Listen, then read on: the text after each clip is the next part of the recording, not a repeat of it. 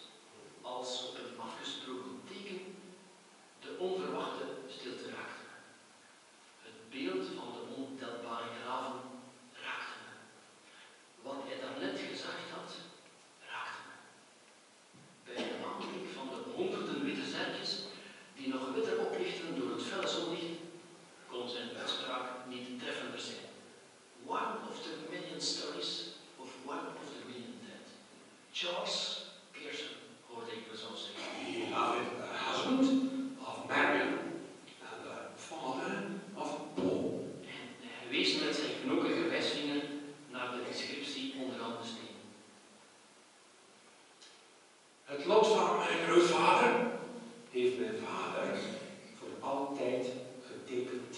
En hij liet zijn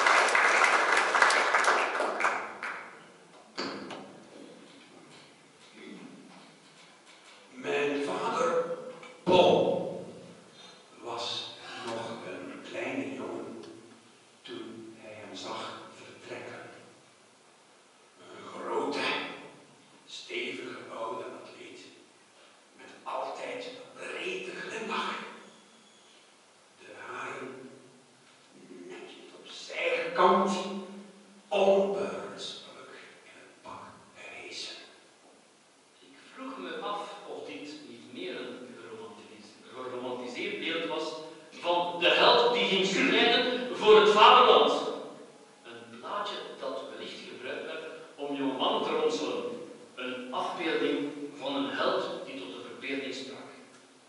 Alsof hij mijn gedachten kon lezen, gniffelde hij even en haalde een foto van zijn grootvader boven. Een eerder vrije jongeman met opvallend grote ogen keek onwennig, glimlachend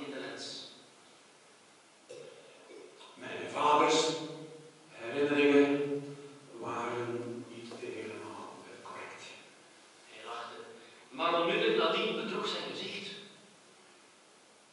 Dit eh, is de enige foto die ik van grootvader heb. Gekregen van mijn vader na de dood van mijn grootmoeder. Gevonden in een blikken doos op haar slaapkamer. Hoeveel keer hij mij het verhaal van grootvaders trek gedaan heeft, weet ik niet. Maar telkens opnieuw beroerde uit mij.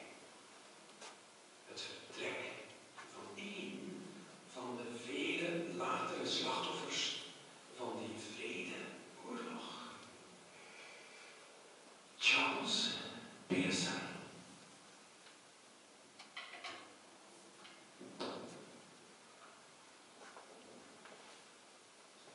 Hij lachte, hij grapte, hij tilde mij op en hij beet zachtjes in mijn oor. Later. Ik breng iets moois mee van overzee, kleine professor Paul. Het was in 1916. Ik was een jaar of zeven. Mama sloeg haar armen om hem heen, alsof ze hem al haar bescherming schonk. Ze klemde zich aan hem vast en ik zag hoe de tranen over haar gezicht liepen. Toen een signaal gegeven werd om te vertrekken, wilde ze hem niet loslaten. Had ik hem maar langer kunnen vasthouden, dan was de trein vertrokken zonder hem, hoorde ik haar later steeds opnieuw herhalen. Ze hebben haar voorzichtig proberen van hem los te maken, maar toen dit niet lukte en zij zich met al wat ze in zich had aan hem bleef vastklampen, hebben twee mannen haar met geweld van hem. De onbedaarlijke huilbuien die haar dagenlang overvielen. Toen ze ongeveer één jaar later de brief dichtvouwde die de postbode haar met een verwrongen gezicht overhandigd had en die ze met trillende handen in ontvangst had genomen, keek ze me doordringend aan. Hij ging strijden voor een betere wereld, je vader. Voel jij hoeveel beter de wereld nu geworden is? Ik niet. Ze stopte de brief terug in de envelop en gooide die met een brede zwaai op tafel. Er is wat te doen, Paul. Resoluut stapte ze naar buiten en als een schoothondje liep ik haar achterna, maar ze stuurde me terug naar binnen. Ze gaf me de opdracht alle goudkrullen in zakken te verzamelen. Sedert zijn was ik hier niet meer mogen komen. Zijn werkplaats, zijn heiligdom mocht niet betreden worden zolang hij niet terug was. Zij wou dat hij de draad gewoon terug kon opnemen als hij terugkwam, alsof hij nooit was weg geweest. Het was koud en regenachtig en zij zou de hele namiddag verhoed en schijnbaar onvermoeibaar in de tuin. Ondertussen had ik de brief genomen en hem in de tafelschuif gestopt. Toen ze s'avonds helemaal doorweekt binnenkwam en ik haar blikken richting de tafel zag gaan, verwachtte ik dat ze me naar de brief zou vragen. Ze zei niet.